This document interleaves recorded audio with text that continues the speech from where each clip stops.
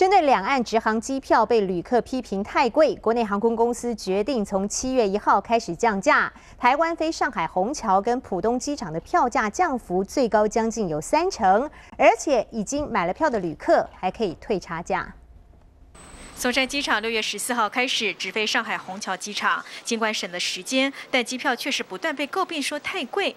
民航局和航空公司沟通后，业者同意从七月一号开始飞上海，不论是浦东机场或是虹桥机场的票价都降价一到三成，先前买贵的还可以退差价。航空公司愿意就呃台北到虹桥以及台湾各点到虹桥这条航线。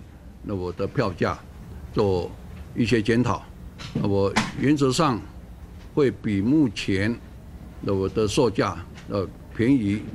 航空业者长荣、复兴以及华航都同意，七月一号起调降松山飞虹桥的票价。长荣一个月有效票价原价一万七千六百五十元，调降为一万两千五百元，降幅百分之二十九。同样的一个月有效票价，复兴从一万五千五百元降为一万两千五百元，降幅百分之十九。华航也是从一万四千两百元调降为一万两千七百八十元，降幅一成。不过这些票价都不含一千多块的机场税。而旅游业者表示，航空公司已自动调降。一一到三成，对旅客来讲算是最大的降价空间。现在目前这条线它是比较热门的，那以航空公司来讲，它的供应也有限，所以以量以价质量是呃商业行为的一个很自然的法则。